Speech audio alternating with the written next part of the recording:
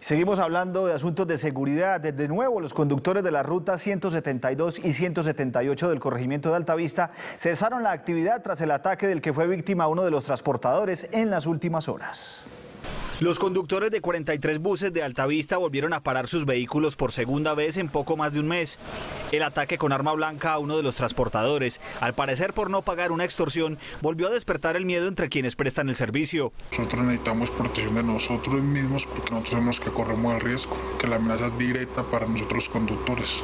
Las autoridades avanzan en la investigación para tratar de identificar a los agresores del conductor, quienes le propinaron dos heridas en el pecho y en un brazo. Es atacado por dos personas que una motocicleta. Dan cuenta que, que, la motocicleta se detiene, ingresa una persona al bus y sin mediar palabra eh, agrede al, al conductor de, de, del vehículo con un arma blanca.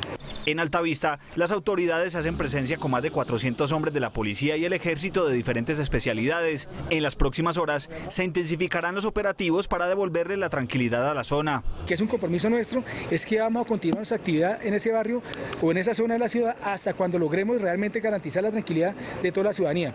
Personal de Policía Metropolitana, Derechos Humanos y la Alcaldía de Medellín sostiene una reunión con los conductores para buscar solución a la problemática.